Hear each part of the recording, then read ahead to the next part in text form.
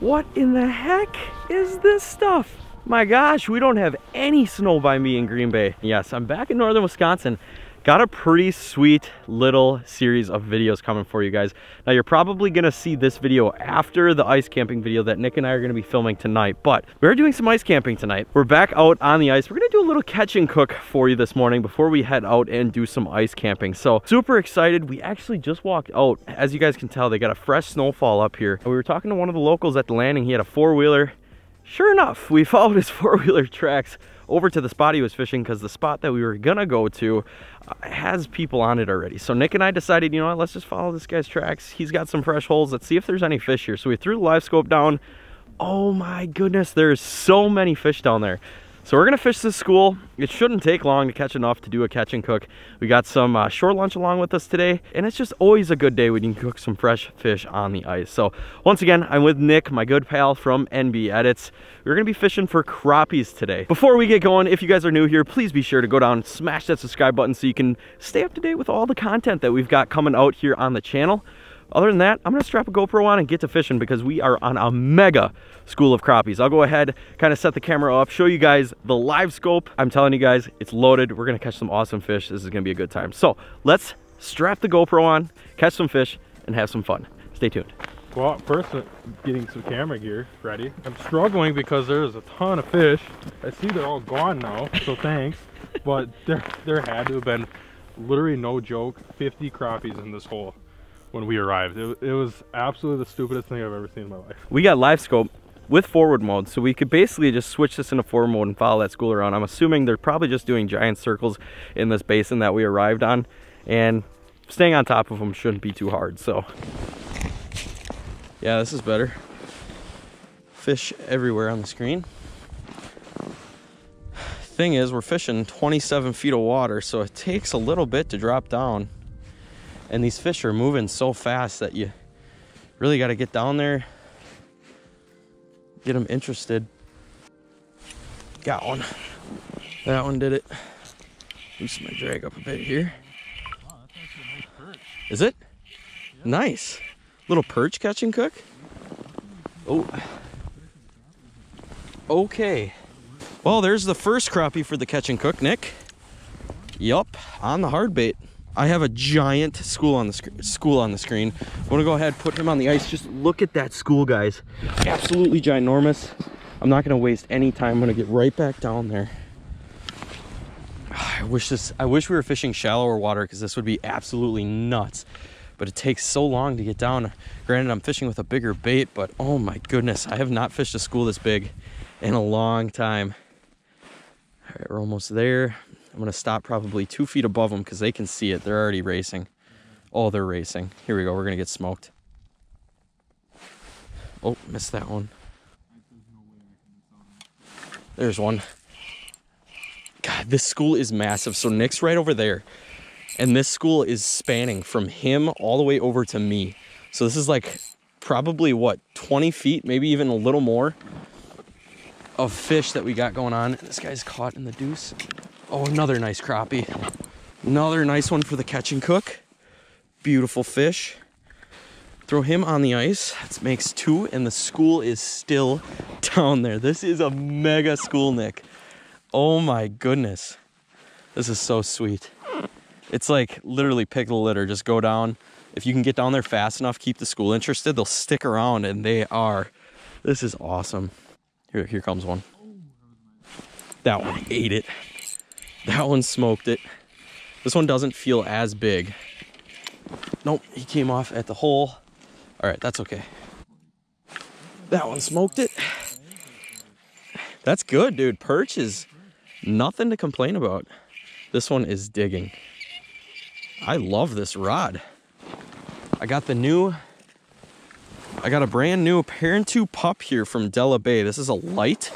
It's a little heavier compared to the pan sizzler um, just to kind of help you haul in those bigger panfish, those bigger crappies. So I figured I'd use it today. I'm going to let that guy go. He's a little small. We'll let him grow a little bit, but I chose to use this rod today just because I knew that some of the crappies that we are going to be getting today were probably generally going to be a little large. And uh, just the backbone on this rod for these heavier baits works a lot nicer. This is definitely the perfect rod for this right now. And I am absolutely digging it. If you guys want to check out some Della Bay custom ice rods, I'll put a link down in the description below where you can check them out. Here we're gonna have another one just come up and smash it right away.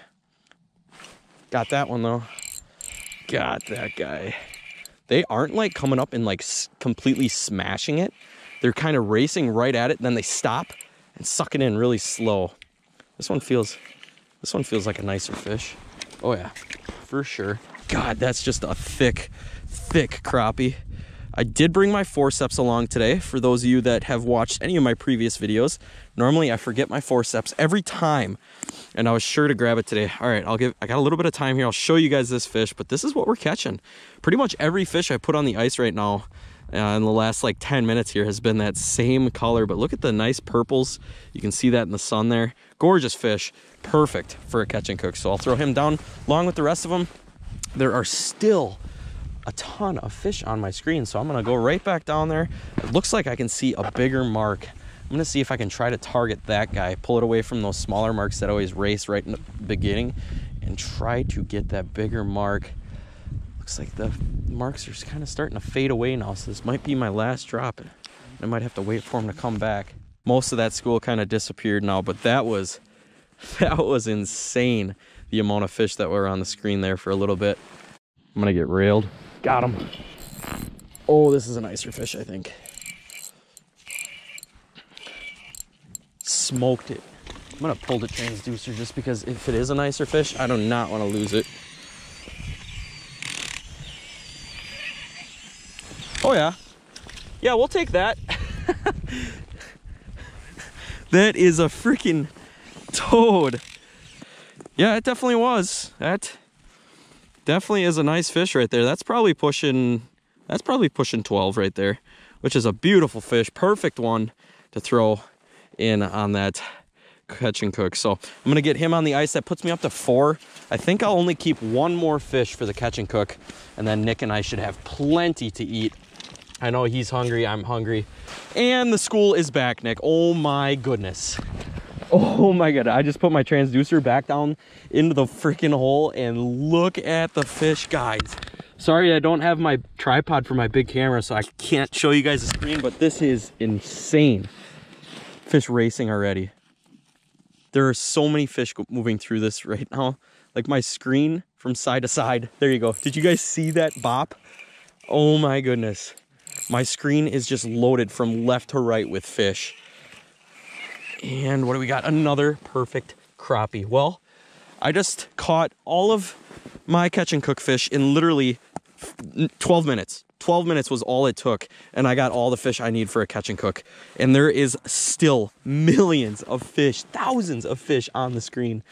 This is a Salmo Chubby Darter. This this bait is absolutely awesome. Works really, really well for perch, but I've found last year in one of my videos that I filmed last year that the crappies absolutely adore this thing. So holy smokes, though, there is monstrous amounts of fish down there. Okay, okay. That one smoked it. A muskie? Really? That'd be lit. wow, this is actually probably the smallest crappie I caught today. Not complaining though. I'm just gonna go ahead and get that guy back, that guy right back down the hole here. Go on, buddy. Give you nice, give yourself a nice solid kick out of here, huh? Down to the depths. Oh, we have. Oh my gosh, Nick! I saw that muskie. It's eating my crappie, dude. It just demolished my crappie that I let go. The whole school. The whole school is going nuts. They're gone. The whole school's gone. Dude, I was watching my fish swim back down to the bottom and that muskie came up, smoked it, grabbed it. You, you couldn't see my mark, the mark of that fish anymore. Turned and then that whole school, I probably had close to, I would say 100 fish on the screen. All of them are gone. There's nothing on the screen anymore. That was incredible, dude. A few moments later. All right, well, what you guys just witnessed was an absolute clinic. Nick and I just put on an absolute clinic. I, I don't even have words. I mean, it's literally 15 minutes later after we got here and we're gonna start cooking fish. So Nick kept five, I kept five, which means we have 10 fish total, right? Yes. To clean up. and deep fry. So we're gonna go ahead, get the grill fired up and start making some fish for you guys. So I'm hungry, Nick's hungry. Let's get cooking.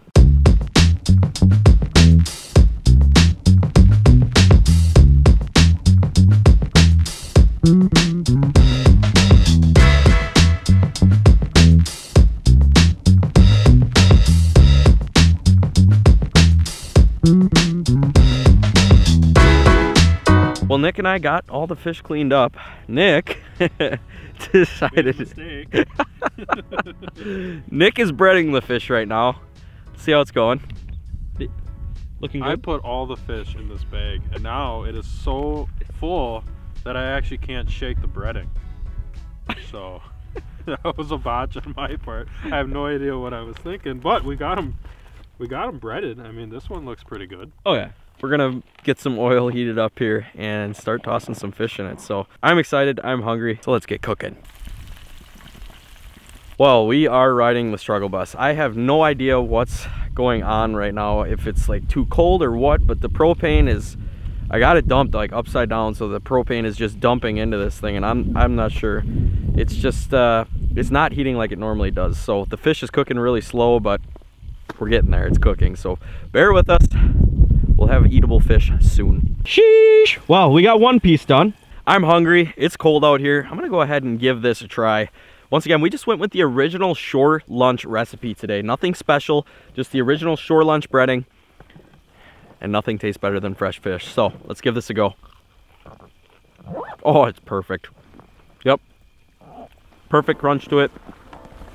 Nothing gets better than warm fresh fish out on the ice when it's seven freaking degrees outside. That is so good. I know I say it in every catch and cook. Oh my god, it's so good. Well, it really hits different when you're out on the ice and that fish was literally swimming 15 minutes ago and you throw it in the grease. Nothing better. With that, Nick and I are gonna continue to smash these fish. We're gonna cook the rest of them up and then we gotta get packed up and get out of here. Nick and I got a big day today, ain't that right? We do.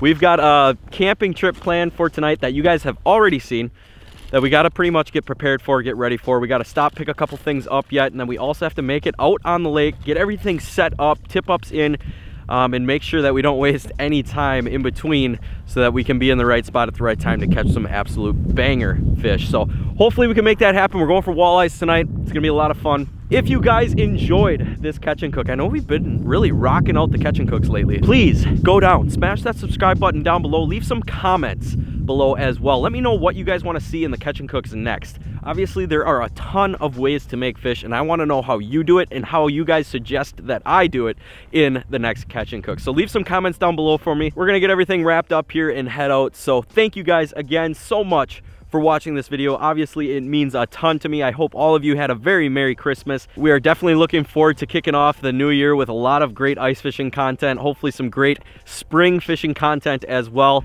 As always, keep living your dream, people. We'll see you on the next one. Peace.